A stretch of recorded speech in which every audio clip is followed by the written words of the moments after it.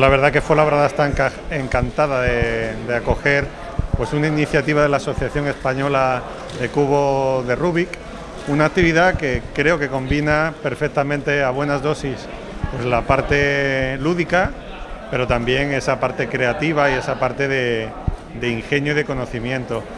Además, bueno, pues esta vez, que ya son tres ediciones las que se han realizado en el Fuenlabrada Open, pues acoge las instalaciones del CIFE en la medida en que, bueno, pues es un lugar estupendo para desarrollar la actividad y al mismo tiempo esto, como decía, es una actividad lúdica, pero también es una actividad intelectual, formativa y, vamos, el, sitio yo creo que es idóneo. Yo soy Jesús Lindo y esta es la tercera vez que organizo el campeonato de Fuenlabrada del Cubo de Rubik, que se llama Fuenlabrada Open 2018. Estamos ayer sábado y hoy domingo y este año han venido a participar 91 participantes, mayormente de España, pero también tenemos alguna presencia internacional, como alguno de Alemania, Polonia o Rumanía.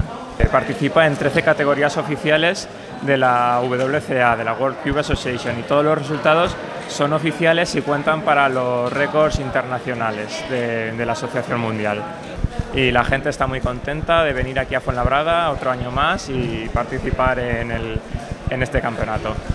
Y bueno, ya lo dijimos en la primera edición y cada vez se va confirmando, eh, pues como finaliza la película de Casablanca, esto es el comienzo de una bonita amistad y la amistad pues sigue profundizándose. Encantados de hacer esta actividad y otras que se puedan estar haciendo. La verdad que tiene muy buena acogida y es una oportunidad, bueno, para los que se apunten, pero también durante todo el domingo, pues que se puedan pasar y, y disfrutar los, vecinos y vecinas que curioseen y que vean, bueno, esto que algunos consideran que es de frikis, pero no, no, no, los frikis entonces están muy extendidos. Hay muchísima, muchísima gente. Cada año vamos mejorando. El primer año fue en la plaza porque bueno, éramos nuevos celebrando un campeonato en Fuenlabrada y se nos quedó bastante pequeño. el sitio estaba muy bien, pero superamos las expectativas de competidores y se quedó algo pequeño. Así que el año pasado nos fuimos a la Casa de la Música, a la Sala del Grito, que también estaba muy bien. Pero este año me han comentado que está de, obras, así que nos hemos tenido que venir al CIFE, pero la verdad es que es un sitio estupendo para celebrar el campeonato y estamos muy contentos. Yo creo que de los tres, este es el mejor.